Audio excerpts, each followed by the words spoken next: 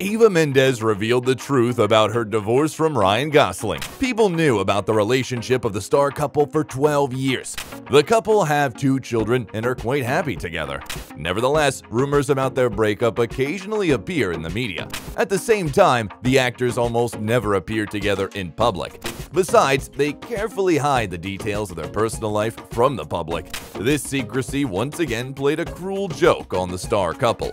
After all, Eva and Ryan were again suspected of family issues. However, the stunning beauty personally denied rumors of parting with Gosling. Mendes revealed that the relationship with the famous actor is better than ever before. What do you think is really going on in their family?